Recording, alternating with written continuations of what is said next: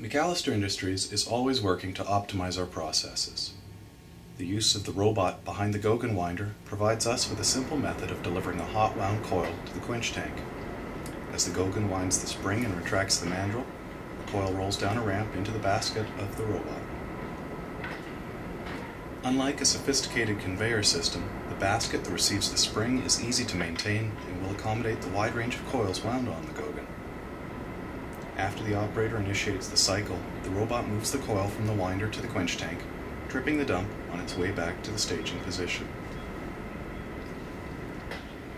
At only 75% of its available speed, the robot is more than capable of keeping pace with the winder. With its versatility, low maintenance, and ease of operation, it was an obvious choice for our material handling requirements. This is another example of McAllister Industries' commitment to advancing our skills to benefit our customers.